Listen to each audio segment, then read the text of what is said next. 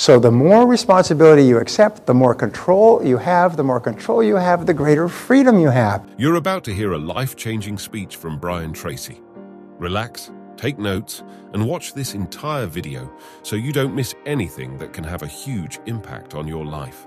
Negative emotions, we say that this is responsible and this is irresponsible. And everybody is on a graph somewhere in between these two. You're either irresponsible is you uh, see everybody else is responsible for your life or you're totally responsible. The top 10% of people are totally responsible. These are leaders. And you can be a leader without followers. You can be a leader without a staff. A leader is a person who behaves like a leader and a leader is someone who takes total responsibility. Now, the more responsibility you accept, the more control you feel you have over your life. Not only physical and financial control, but emotional control. You feel you are in charge, and the more control you have, the more freedom you have. If you were to ask people why they want to start their own business, why they want a lot of money, if you ask them over and over again, the, the final question they will always give you is to be free. We all want to be free. We love freedom. No human being has ever said, I have too much freedom, please take some away from me. There are politicians who believe that members of the, of the voting public have too much freedom and they believe that they have been elected to take that freedom away by taxes and regulation. But there's never a person who says, I have too much freedom, please tax away my income, please regulate me and constrain my behavior so that, that I do things that you think are good for me. When you put it like that, people, nobody would ever say that. And yet this is one of the great dilemmas of the day. So the more responsibility you accept, the more control you have, the more control you have, the greater freedom you have. And the greater freedom you have,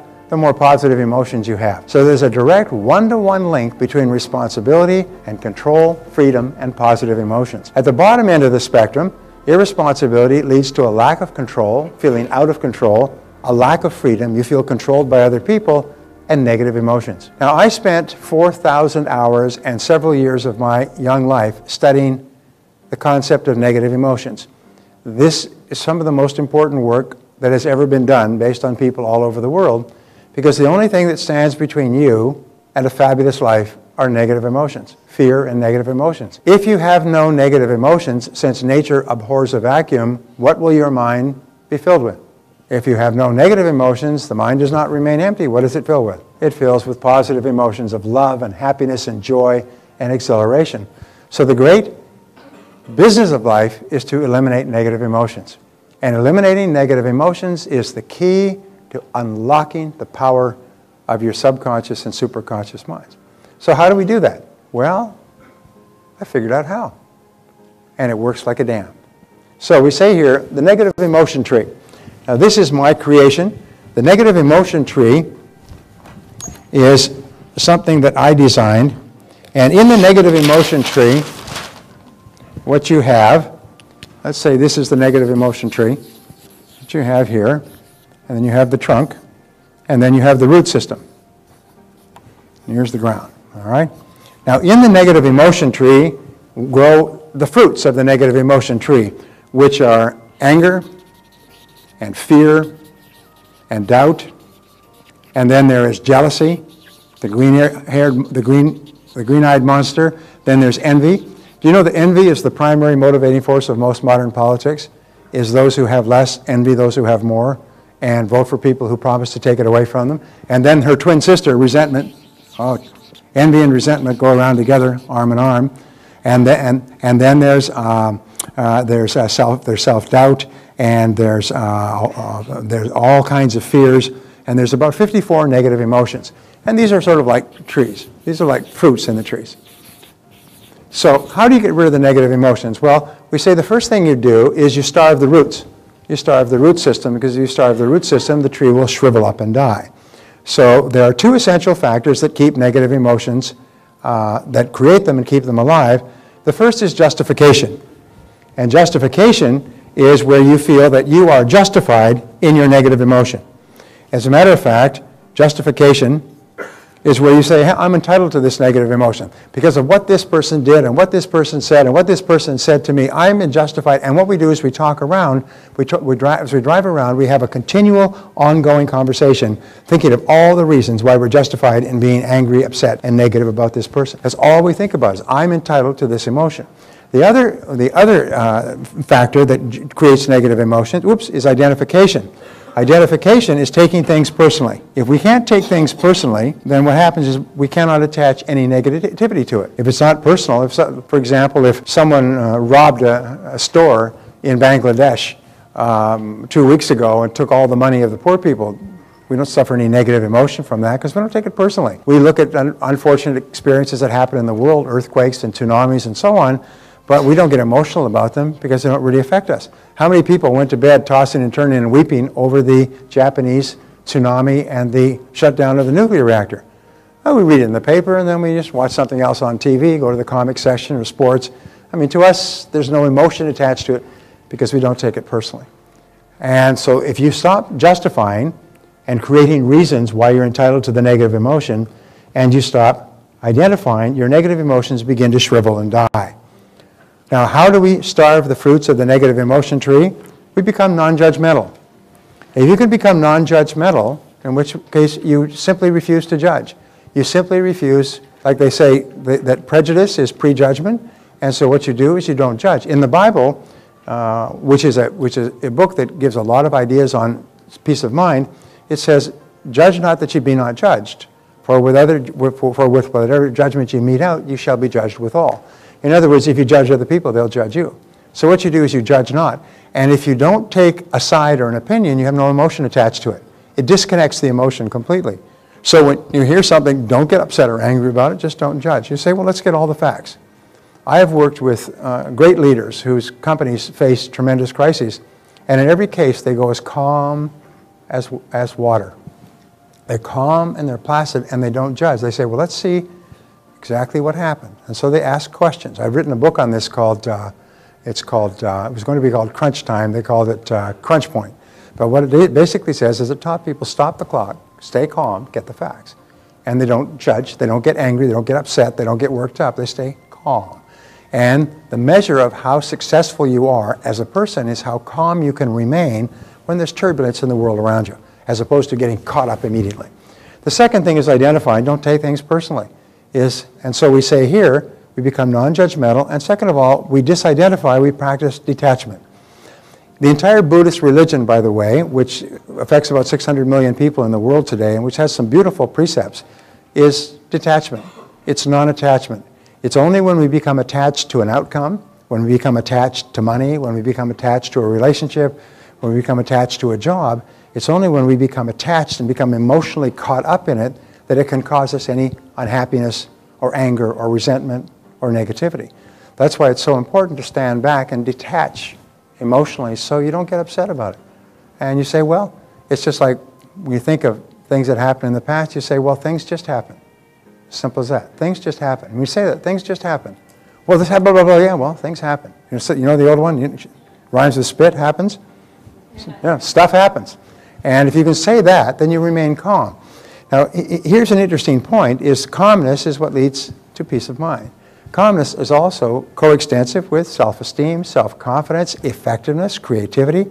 When you become emotionally involved in anything, all of your creative, your higher mental powers shut down and you revert to fight or flight, your limbic system, fear, anger, and so on. As long as you become emotionally involved, you cannot think clearly. There's a line from Francis Bacon, it says, where it maketh a man who can in no way be true to his own ends. In other words, we get so excited. So the key is to stay calm. That's why they say take a deep breath, count to 10, stay calm, detach, get the facts, don't get upset, don't get involved.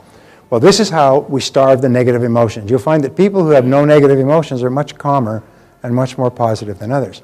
However, there's something even better, and that is the key to ridding yourself of negative emotions is to cut down the trunk of the tree, is to cut down the trunk of the tree, which is blame. And blame is, lies at the root of 99% of negative emotions. Is we find that if this is blame, this blame, we cut down the tree. And it's almost as if these negative emotions were lights in a Christmas tree, and the Christmas tree is plugged into the wall. Is if you unplug a Christmas tree light from the wall, what happens to all the lights simultaneously? They all go out. And when you stop blaming, all your negative emotions stop. And for as long as you're not blaming, your negative emotions stop. You have no negative emotions. And at that moment, your mind starts to fill with positive emotions. So how do we stop blaming?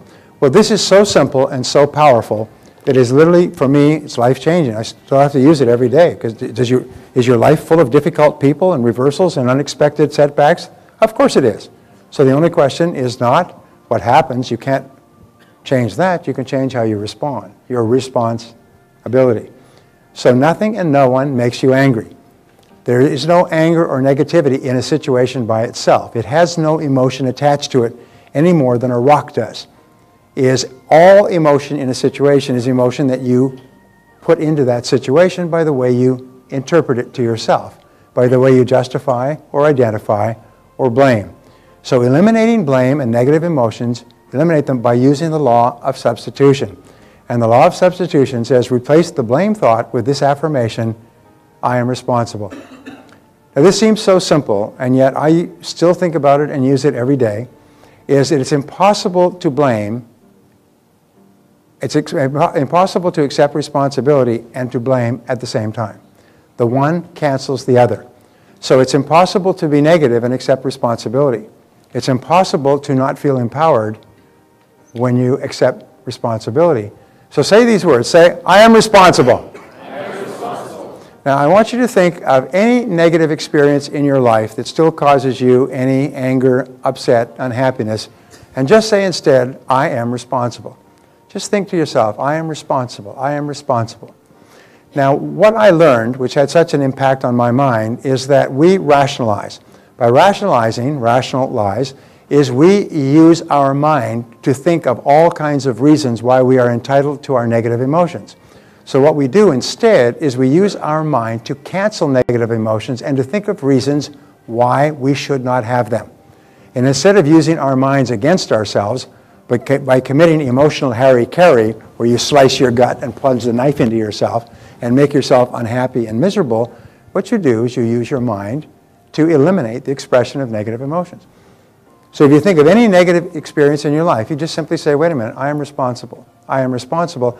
And then you think, in what way am I responsible? In what ways am I responsible? If you're dealing with a negative situation that you've had for a long time, the first time I recommend this to you, it's very hard because you have fallen in love with your negativity.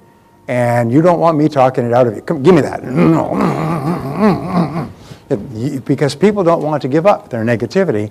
And so you're going to have to play with this idea and say, wait a minute, Let's say you had a lousy relationship and the person treated you very, very badly and it ended with um, awful divorce and emotional stress and so on and so forth. What you do is you say, wait a minute, I'm responsible. I am responsible. Now, how and, how and in what way could I possibly be responsible? Well, I got myself into the situation. Um, I married the person. Um, when, when it was clear it wasn't going to work out, I stayed in the situation. In fact, even before I got married, I knew that this was not a good idea, but I did it anyway because my mother expected me to. Um, and we'd already sent out the invitations. And, uh, and, I could have, and I could have gotten out. 38% of people who get married say that if it were not for all the people coming, they'd already changed their mind. 38% of people realize they're not going to, they would have changed their mind. I had this great experience. I was uh, taking a taxi to the airport, and this, uh, and I said to the taxi driver, I said, um, please take me to the airport. He said, where are you off to? I said, well, I'm off to Vancouver. He said, well, it's nice to pick up somebody who knows where they're going. And I said, really? He said, yeah. He said, I had a fare last night. It was really interesting. He said, I was called by this woman to come to this home and pick her up, but I was supposed to go around in the alley in the back and wait, and the passenger would come out. So I drove, I found the address, and there were cars up and down both sides of the street, the lights on, a big party going on. It was in the summer. And people all over the place having a great time. And so I said, well, he went around the block and he stopped in the alley. And he waited about five or ten minutes later. This woman came running out, threw her suitcases into the uh, car, and said, take me to the airport. And he said, great. And he started off the airport. And he said, where, where are you off to? She said, first plane out in whatever direction. She said, I don't care. And he said, really? He said, that's a, never, I've never had that before. He said, well, you see all those people back there? He said, that was my wedding reception. I just got married this afternoon. And I knew I shouldn't be marrying that guy. And I got home and I sat undressing, you know, ch- changing her clothes after the wedding. She sat in my room and said, My God, what a mistake I've made. This is really stupid. She said, I'm getting out of here before it goes any further. She said, Take me to the airport. I'm taking the first plane out in either direction. This, and she did. Um, And yet, and 38% of people who get married think that way. This is by the marriage counselors, by the way, who counsel couples. They find about, um, about 38% on average, based on a study of 100,000 counseled couples, decide not to get married because they're caught up. My point is this, is if you had a bad business deal, who got you into it? Did you go into it yourself? Did you make the decision yourself? Did you make the choice? Did you have some misgivings but you kept on going or did you not find out enough information? In other words, use this brilliant mind of yours to think of all the reasons why you are responsible. And, and when, as you do that, you'll find the negativity begins to fall away. And you stop being negative about the other person. You say, hey, you know, I'm an adult. I made some bad decisions. That was, that was really dumb. And then start telling yourself, that was a dumb decision. I was really stupid to do that.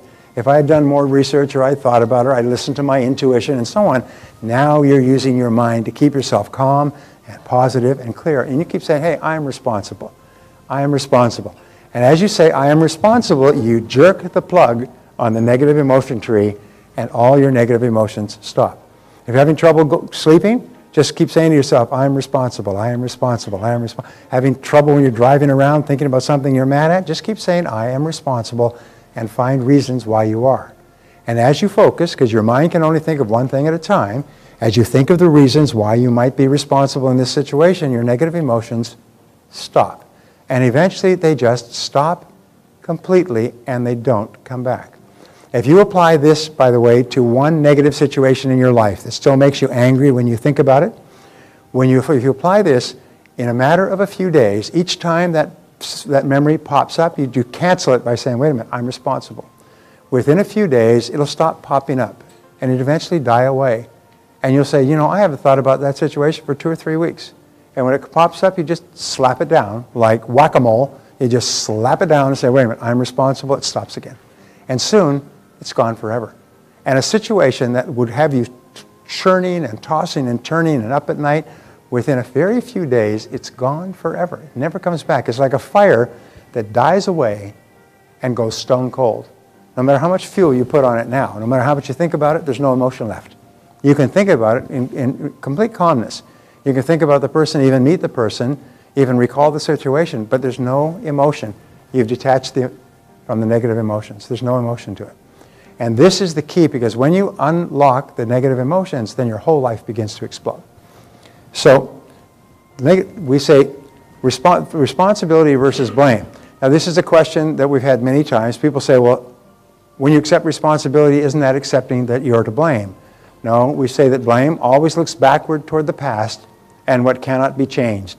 What he said, what she said, what he did, what she did, and if only, if only, if only he or she had done or not done something. But responsibility always looks to the future. Responsibility always asks is what can we do from here? Where do we go from here? Remember, the conscious mind can only hold one thought at a time. If you're thinking about the future and where you're going and what you want to do now, you can't think of the past and what happened, what makes you unhappy. So thinking about the future makes you happy, gives you a sense of power, gives you a sense of freedom and control, and forces you to think about what you want. There's a wonderful line from Helen Keller where she says, when you turn toward the sunshine, the shadows fall behind you.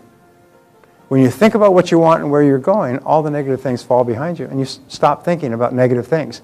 And if you do something habitually, if you do something repeatedly over and over again, what do you eventually develop? Develop a habit. So pretty soon you get a, develop the habit of looking on the bright side. Now, this is not being Pollyannish or, or pretending that there are not problems in life. It's just realizing it's only when you're calm and clear and relaxed are you really effective at responding to take care of the problems. You can't take care of problems if you're upset and angry and frustrated and lashing out at other people. And when you say, I am responsible, it's like Jesus calming the waters. We say, I am responsible, your emotions go calm. And then you can deal effectively with whatever you have to deal with. And never blame anybody else. So we say people love their suffering. And this is another thing that you're going to find. People fall in love with their suffering and it becomes habitual. How can you tell? Because they love to talk about their suffering. You meet them uh, one year apart, two years apart, three years apart. They've always got a tale of woe. They're always talking about how their bad back and their lousy wife and their crummy kids and their boss and the economy and so on. These are, they're, like that Joe Btfsplk in the Little Abner cartoon that walks around. He's got a storm with lightning and black clouds over his head. Wherever he goes, people drop dead and cars crash and people fall off of bridges and so on. There's some people like that. I had a woman working for us once, and she was so negative. She'd been through a divorce, and after speaking to her for a while, you really admire the intelligence of her husband. Uh, she was so negative and so critical and so angry that she, she would walk near our photocopier and it would seize up. It was a new photocopier and it would stop working. She went out and bought a new car and she drove that new car away from the dealership and down the road and it consumed itself in flames. It literally blew up and consumed itself in flames. And she got out and stood by the side of the road, this car started smoking and it stopped and sputtered and she got out and, and flames came up and the car just burned. And they went back and they did a forensic analysis of the car and they said there was nothing wrong with the car. I mean, it's a brand new car and it's the kind of car that this never happens with. But I'll tell you, the same negative attitude that was paralyzing our photocopier whenever she went near it, just destroyed the car. I mean, she was so negative. And she was black, and all she thought about was her suffering and how badly she'd been done by, by her previous husband. It's all she could think about was uh, her, her husband. So when you meet people who uh, are uh, in love with their suffering and love to talk about their suffering, uh, what you should do is, uh, Emerson said, give them a good shake and put them back in touch with their real selves. And so Barbara and I used to call this the advice. And I'd come home and she, she was, Barbara wanted to be a counselor at one time and she realized if you're going to be a counselor, you have to deal with people suffering all the time. So you go and deal with their suffering, you come home feeling lousy. You want to go and pull the curtains or the, the, the, blankets over your head. Anyway, so she said, no, I'm not going to do that. So she, what she did is she decided to become a very quick and efficient emotional counselor, and she would give the advice. And this is the advice. If someone pours out his or her problems to you, listen and then respond with the following you are responsible for your own life. What are you going to do about it? Whenever anybody gives you a problem, you nod, smile, and say, Yes, uh, that's all very true, uh-huh, but you're responsible for your own life. What are you going to do about it? Now, as you keep reminding that you are responsible for your own life, I'm responsible for my own life. If I'm not happy, it's up to me to change it. Tell other people, you're responsible for your life. What are you going to do about it? No, I don't want to hear about this. I don't care what he did, she did, any of this. I don't want to hear about it. Remember, when, when you reward people by encouraging them to talk about their problems, that's all they talk about is their problems. And pretty soon they come back and they phone you up and they call you late at night and they come over and visit you on the weekend. You become an emotional first aid station that they keep stopping at. Um, so what you do is don't encourage them. You say, well, that's really too bad, but you are responsible for your own life. What are you going to do about it?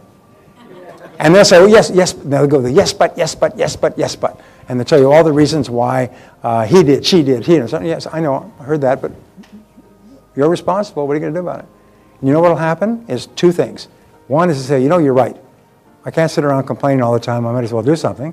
Or the second thing is to just stop coming around. They'll find that you're not a very interesting person. You're not very compassionate because you're not willing to spend half of your life while they pour out their troubles to you. Uh, so, the existence of one negative emotion that will, you will not let go of will cause you to stay in the same place, spin your wheels, and go in circles for the rest of your life. Now, this is one of the great breakthrough thoughts that I learned. First of all, you unplug all your negative emotions by just saying the words, I am responsible.